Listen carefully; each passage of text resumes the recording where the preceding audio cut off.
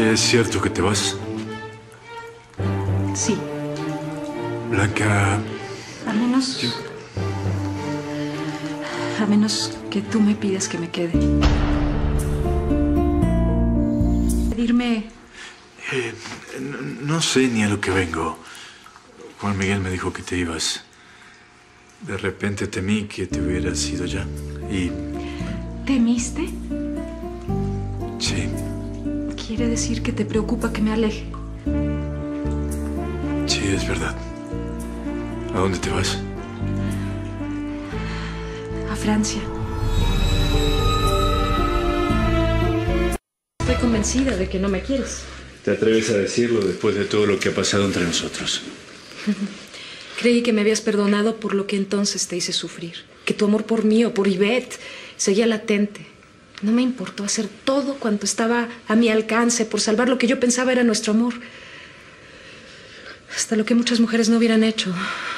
Humillarme por ir a buscarte, suplicarte, para que trataras de ver claro en tus sentimientos.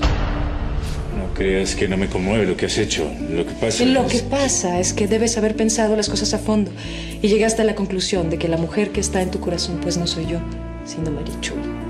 Entonces, ¿qué, qué me queda por hacer aquí? Bueno, tú eres una mujer de mucho carácter y Juan Miguel te puede seguir ayudando. No, no.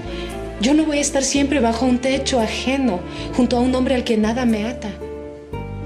Porque el único hombre al que quise, al que quiero y al que querré, pues eres tú, Omar.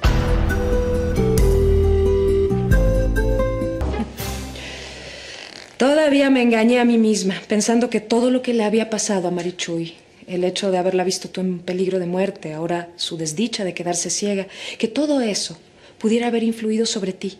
Pero se sabe ya que su vida está a salvo, que seguramente habrá probabilidades de que algún día pueda recuperar la vista. De modo que pues ya no tiene objeto que yo siga alentando esperanzas. Tú, sencillamente a quien amas es a ella. Y yo no significo nada para ti. Y por eso me voy. Blanca, créeme que yo... Omar. Omar, esta es nuestra despedida. Yo quisiera decirte No, que... no, no. No te esfuerces. No es preciso que digas nada. Solo adiós. Pero también... Omar, ya tenemos esperanzas. ¿Esperanzas? Sí, lo de Marichuy puede tratarse de una ceguera cortical, transitoria. Ella puede volver a ver. Si Dios así lo quiere, Marichuy se va a curar, Omar. Aunque sea... Aunque sea para ti.